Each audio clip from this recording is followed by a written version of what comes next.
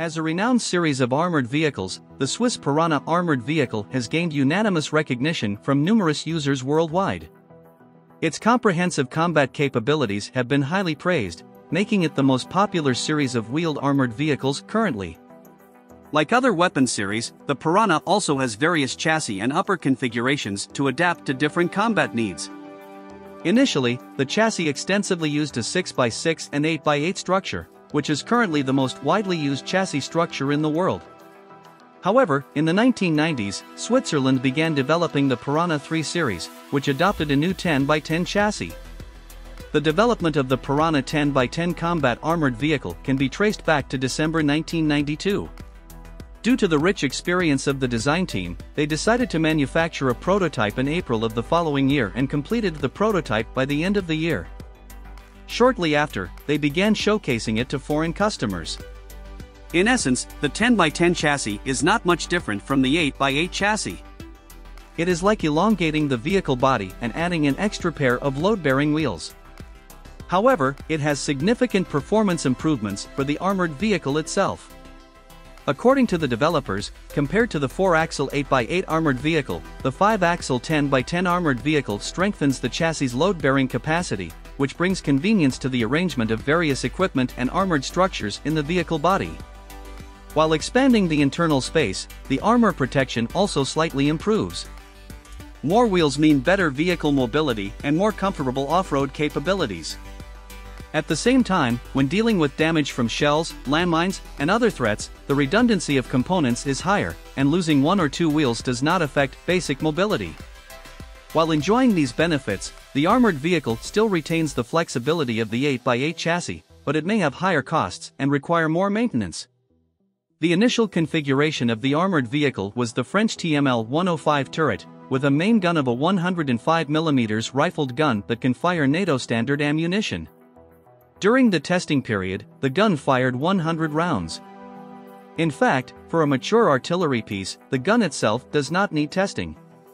The testing is more about whether the vehicle body is suitable for this gun. The experiments proved that the 10x10 vehicle body can fully accommodate the artillery. Even when the turret is rotated 90 degrees, the armored vehicle can still travel at high speeds off-road.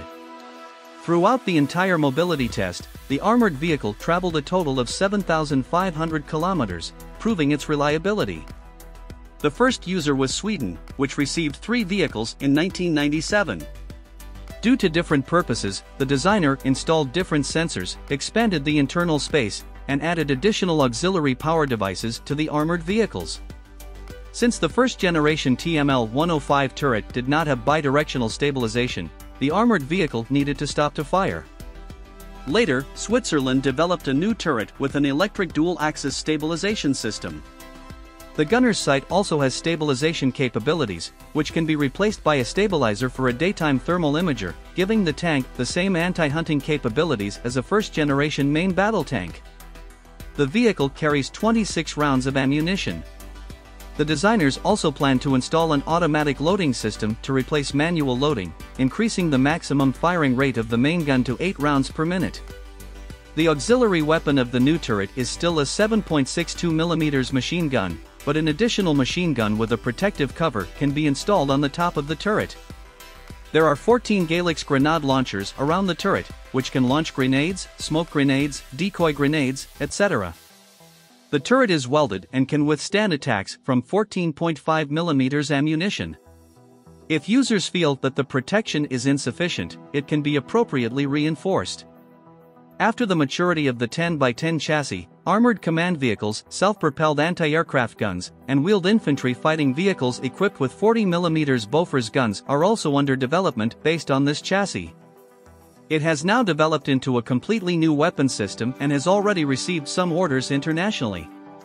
The Piranha 310 by 10 wheeled combat armored vehicle has an empty weight of about 18 tons, a length of 8.75 meters, a width of 2.6 meters, a height of 2.99 meters, a ground clearance of 0.57 meters, a maximum speed of 100 kilometers per hour, and a maximum range of 800 kilometers. Currently, 8x8 chassis still dominate the world's heavy armored vehicles, such as the South African Rooikat, etc.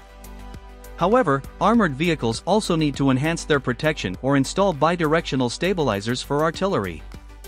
The additional weight from these enhancements will ultimately be borne by the chassis. Perhaps in another 10 or 20 years, the 10 by 10 wheel chassis will become mainstream, and armored vehicles will have even stronger capabilities.